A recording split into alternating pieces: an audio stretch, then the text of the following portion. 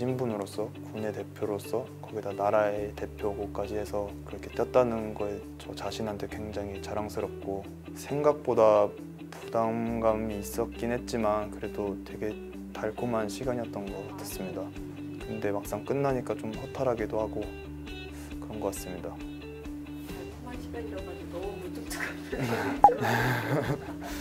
제가 어렸을 때부터 동경하던 외국 선수가 있는데 러시아 그 이리아 코발척이라고 제가 진짜 어렸을 때부터 진짜 좋아하고 뭐 진짜 닮고 싶었던 선수인데 그 선수를 실제로 보고 이렇게 지낸 거랑 제가 득점한 그 순간이 가장 기억에 남습니다.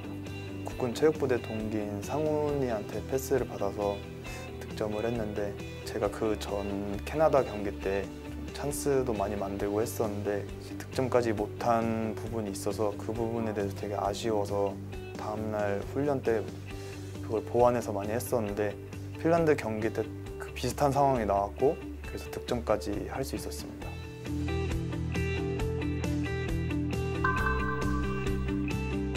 꼬매고 이런 것도 뭐 신경 안 쓰고 딱 경기 일부고 경기 들어가면 오직 저희는 단체 종목이라서 팀을 위해서 뛰기 때문에 그런 걸 신경 안 씁니다.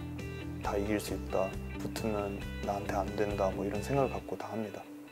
이제 뭐 새로운 시작이라고 생각합니다. 지난 4년은 그 시작을 위해서 노력한 거고 준비한 거라고 생각합니다. 그래서 앞으로 저 개인적으로도 그렇고 대한민국 아이스하키도 그렇고 이번이 시작으로 점점 더 세계적으로 커가는 그런 시작이 될 것 같습니다.